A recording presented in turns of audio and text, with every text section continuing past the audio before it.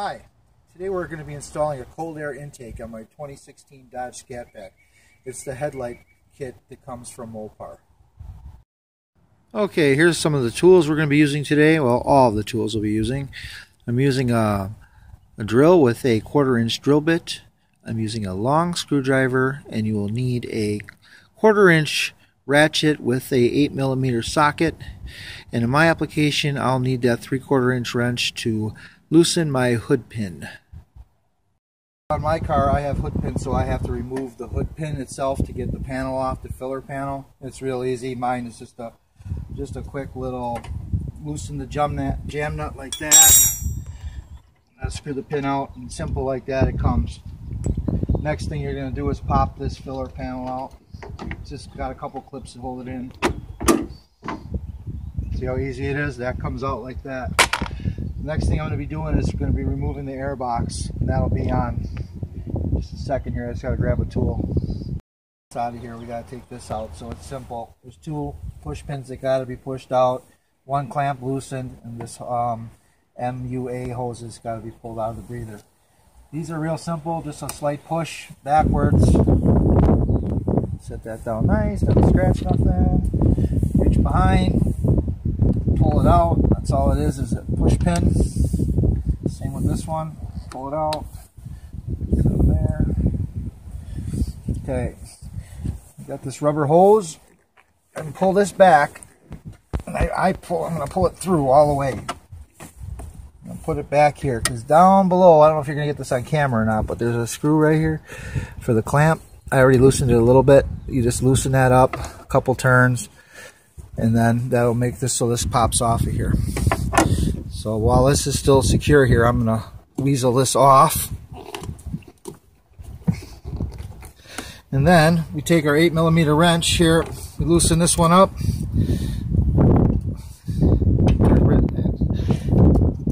Pop her out. Actually, that was an 8 millimeter socket for those of you who are about to correct me. There it is.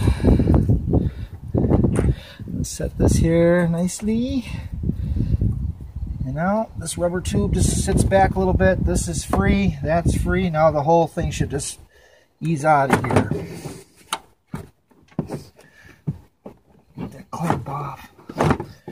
And there you have it. That pops out nice and easy, just like that. I'll set it over here that's that.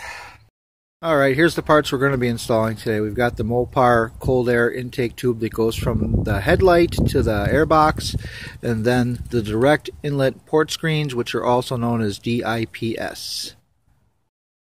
I decided to pull my breather out because when I go to put this tube on here and drill my holes for the pins, I don't want to put a, my drill bit into the air filament by accident. So this is just simple. Loosen this up clamp loose.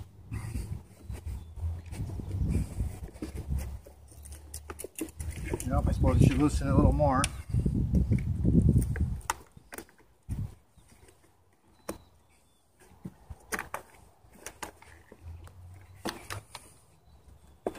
Get it out of the way, pop it out, and that's that.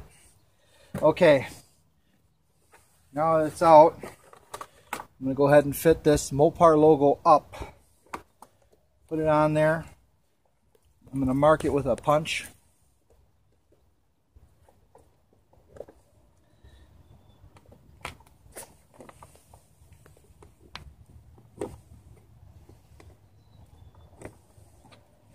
That's that. I got four little indentations where I need to drill.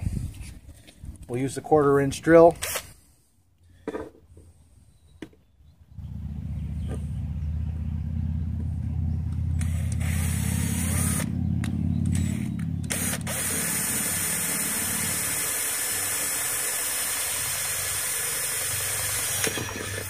That's glad. glad I decided to move that filament out of there.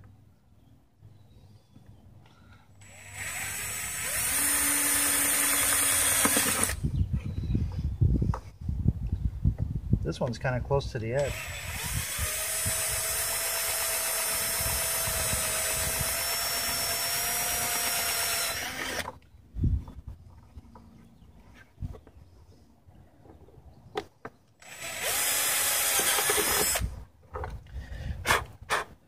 That's that. Blow the air out of it. Already got a leaf in there. It's not even fall, spring. Pop that on, and this is simple push pins just like the other ones. Looks like going to slide in the hole.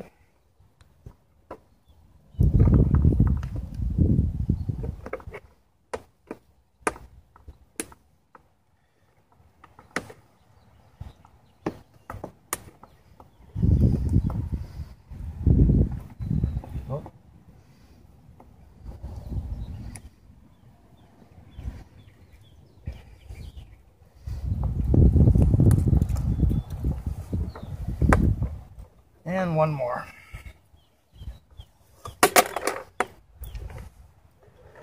And that's that. Now it's on, and I'll go ahead and I'll put my uh, filament back in, and um, we'll go from there. I'm going to move the, the dummy headlight here in the back. There's three clips. I just do them one at a time real softly. I just push that one a little bit, that one, and now the third one. Keep my fingers on it. Do it again and they all come out. Simple like that. Three clips on the back, piece of cake. Okay, you're supposed to take just a drop of this stuff, put it on there. Dishwashing soap, run it around the curve, that rubber ring. I'm going to try to slide this in so that the grill is pretty straight.